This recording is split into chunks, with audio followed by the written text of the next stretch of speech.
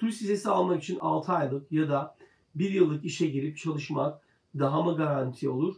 Yoksa direkt üniversiteden mezun olur olmaz turist vizesine başvurmak daha mı mantıklı diye takipçimiz soruyor. Siz üniversiteyi bitirdiyseniz, bir işte çalışmaya başladıysanız en az 6 ay ya da 1 yıl bir çalışma geçmişi yaratmanızı tavsiye ediyoruz. Çünkü öbür türlü görevliler sizin gerçekten buraya gezme niyetiniz olmadığını düşünebilirler ve vize vermeme yoluna gidebilirler. Dolayısıyla siz turist vizesine başvuru yapmak için en az bir 6 ay hatta bir yıllık bir iş geçmişini oluşturmanızı size tavsiye ediyoruz deyip bu takipçimizin sorusunu cevaplamış olalım.